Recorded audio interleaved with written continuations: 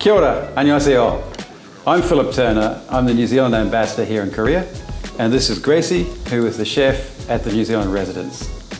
Now, today we'd like to present to you uh, a fantastic New Zealand dessert which Gracy has put together using unique products made with care sustainably in New Zealand. Kiwi fruit and Manuka honey.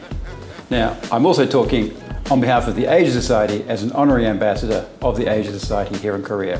Now, the kiwi fruit you probably know is widely available in Korea, tastes delicious and is full of vitamin C and good for you. I eat kiwi fruit every morning for breakfast.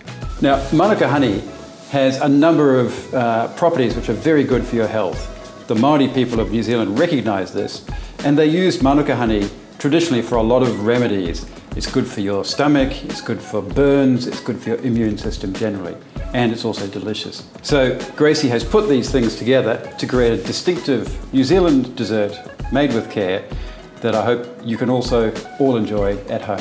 Kia ora.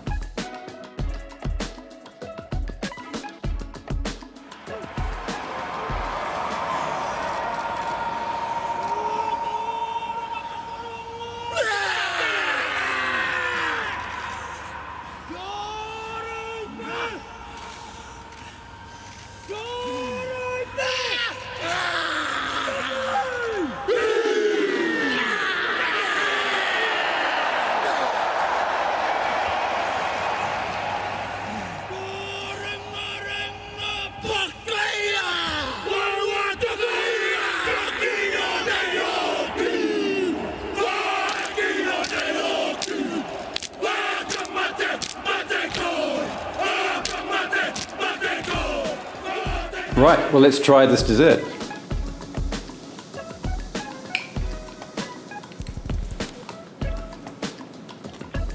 Mmm, mushy so it's delicious.